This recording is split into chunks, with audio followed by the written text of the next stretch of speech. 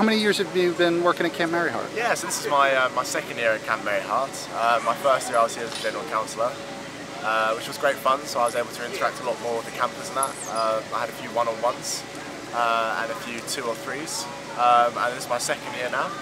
So I'm involved a lot more in the, uh, the leadership stuff. So whether that's um, running the ropes course down in the forest, whether it's up on Blacktop with the sports and games, or helping the evening activities. Yeah, it's good fun. It's nice getting kind of both kind of like uh, perspectives of the, uh, of the camp. What brought you back?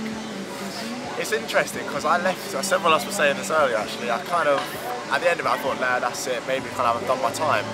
But after a couple of months you do start to miss the camp life.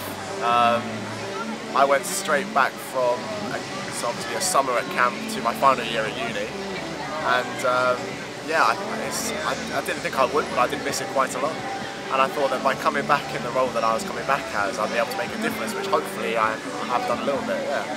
That's good, I've really enjoyed my second year, it's nice. And what do you think of the campers? Oh, I love them, love them to bits. Um, it's great seeing some of the familiar faces again.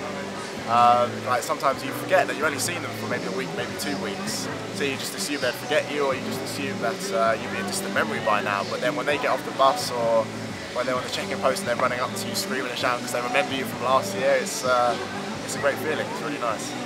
That's nice.